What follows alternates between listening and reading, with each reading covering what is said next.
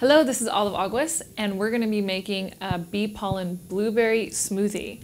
Now, I love smoothies, but who doesn't? It's the easiest way to make a breakfast, quickest, and it has the most pleasure. So, let's start with this. We're going to be throwing everything in the Vitamix, of course. We need about one cup of our lovely hemp milk, which we just made. You can check out the recipe.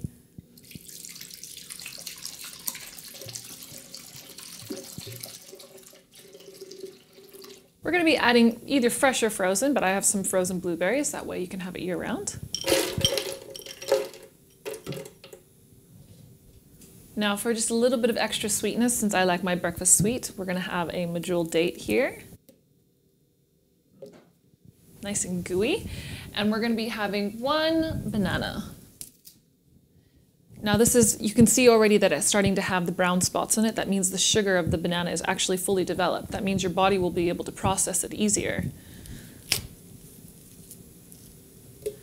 So one full banana in here. And we're gonna have about a centimeter of ginger or so. I like to add a little bit more, so just toss that straight in. And the magic ingredient, the bee pollen. This is one of nature's most complete food sources. So we're gonna start little and add our way up. With bee pollen, I like to actually start with about half a teaspoon and then work your way up. Mm, nothing more than half a tablespoon a day. So here's about a little under a teaspoon.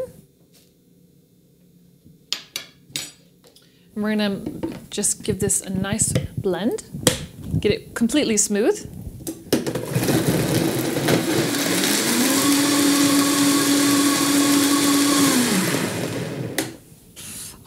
Color. It's so beautiful. Oh, you can just smell the ginger and the blueberries. It's just beautiful. Here we go. Lovely fuchsia color. We're going to add a little bit of bee pollen on the top just for a little bit of beauty. Oh, look at the contrast of colors. And my wonderful raw food chef friend Shanur gave me this straw, so this is perfect for it. A nice glass straw. And there we go, one of the simplest smoothies to enjoy as quick as possible. Mmm, mmm, it's just lovely.